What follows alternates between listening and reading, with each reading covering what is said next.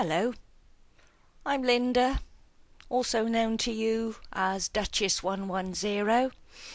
Thought I would uh, try and do a short tutorial on how to texture the new look, get my teeth in right, uh, the new look G3 Robin character bodysuit upper. So, select the upper Make sure diffuse is highlighted and click launch. I use Photoshop CS3. First thing I do is create a new layer to start working on. Use the lasso tool and just do a quick outline for one side of what will be in this instance a corset I think so we'll try and crop it up a bit. Double click to complete the circle. And then flood fill. And now here if you double click on your layer you can choose to fill it with a gradient or a pattern. In this case I think we'll do a pattern. Here's one I used for one of the outfits that I created in my pack. So we'll say OK to that one and then flood fill and as you can see it sets. You can also, while in the pattern, if you're not happy with the size, you can scale it up or down. Or if you want to move the position of the texture, you can just drag it around the screen and position it. And when you're happy, OK. So I'm going to leave it set at 100. Say OK. And then Control D to deselect it. And then we'll go Edit. Oops, no we won't. We'll do a duplicate layer. OK, and then we'll say Edit, Transform, Flip Horizontal, and then shift him across leaving a slight gap there and I think what I'm going to do is just pull them both slightly apart so that we can maybe put some ribbons or something down the front. Right, and now I will do a quick selection across the back. Try to position it somewhere near the same distance, hover it a little bit just to see, come back up,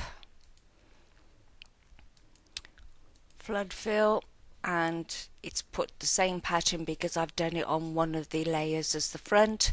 You could if you want um, create a new layer.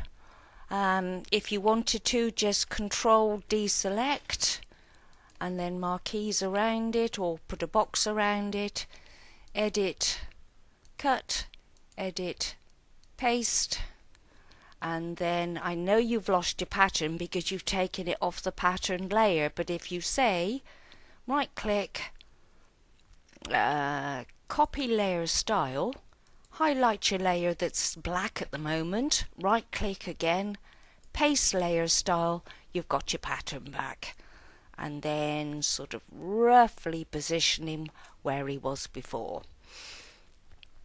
So now I'm going to create a background layer. I will keep it as black, flood fill it, and then go into File, Save As, change it to a JPEG, double click on that one, OK, OK again, into iClone and update.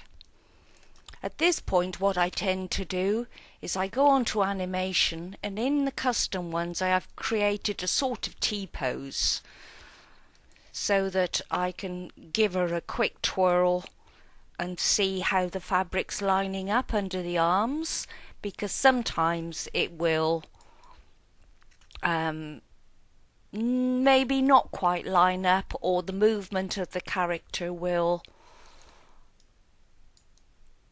throw the, the alignment out. So if I'm sort of happy with that, I'll then go back into there. Now, a quick and easy way in here to create your lacings if you want is if I go into the actions there are some very good actions you can buy over on Renderosity so um, we'll select just one of the ribbon eyelets. And you've now got the option to do it as a pattern or if you want you can do it as a colour. Um, so I'm going to stick with the pattern I think so that the ribbons on it will match the outfit. So it'll just work its way through that and then you've got it they are very large so I tend to scale them down just a little bit in here first say okay shift it over so I can see my layer and then drag it onto there. If it's gone down behind one of your previous layers, just drag him up until he's on the top. Bring him down. I'll put my back map on there so you can see roughly where to line him up. And then scale it so that the buttonholes are sort of going over. Drag him around. Come in a bit closer and then the mouse will be a bit more sensitive. Bring him down. Yeah and the ribbons are hanging down below it. So again say okay to that. Put my black back on and resave him and see what he looks like now with that on the front as the JPEG double click to overwrite him okay okay again and update and as you will now see she's got her ribbons hanging down off the base of the corset. Very quick and easy way to create your opacity maps. If you hide those, well this is the way I do it anyway. Highlight one that's there, merge visible. Leave the back one there, double click on the layer, colour overlay, change your colour to pure white. OK. OK again. And you've instantly got your opacity map. File, save as, JPEG, and this time you can either leave it written as diffuse copy or if you want, name it opacity. OK. Into iClone, double click on opacity and it will bring up your iClone temp folder.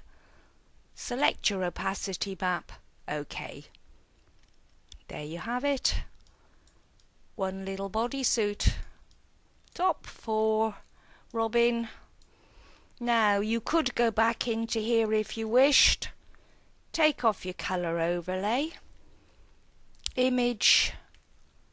Adjustments. Desaturate now if you wanted, pick a colour off there, one of the light greys.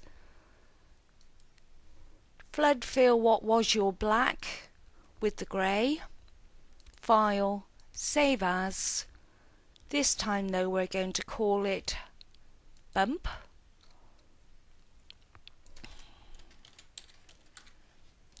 Let's get rid of that Y at the end. Okay, okay again, into here. Double click on your bump. Into there. And as you can see the costume automatically changed and has got more definition on it now. Um, if you think it's too harsh you can then slide back mess around with it. Another little tip while I'm here is if you want to put a bit of specular on it again you can use the opacity map and bring it up and it will then only use that or if you wanted to do an opacity on just a particular part um, say do a duplicate of the eyelets and then put those as an opacity map or a specular map and bring them into iClone.